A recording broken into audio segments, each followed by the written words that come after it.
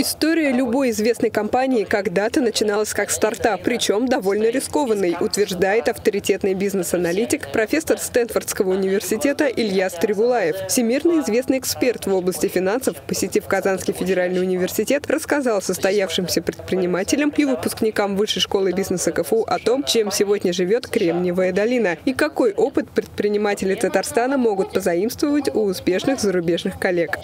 А если посмотрим на логотипы всемирно известных компаний, которые вы, у вас на экранах, то у них есть одно общее. Это все очень удачные компании, которые созданы за последние 30-40 лет.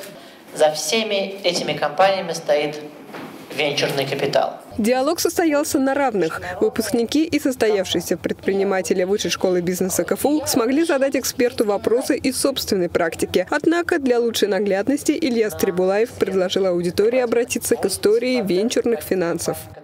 Э, если бы не было венчурного капитала, то, скорее всего, всех этих компаний, которые вы видите, Facebook, Google, Uber, но также и более старинных компаний, как бы сейчас, FedEx или Oracle или Microsoft, наверное, скорее всего, не было бы. И поэтому я хотел бы сегодня рассказать также про то, как устроен венчурный капитал в Соединенных Штатах Америки.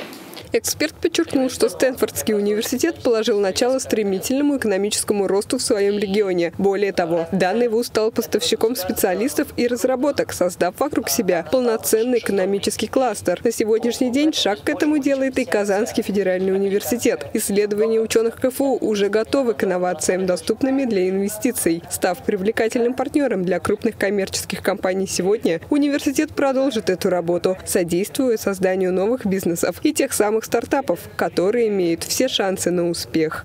Аделя Шамилова, Руслан Уразаев, Univer News.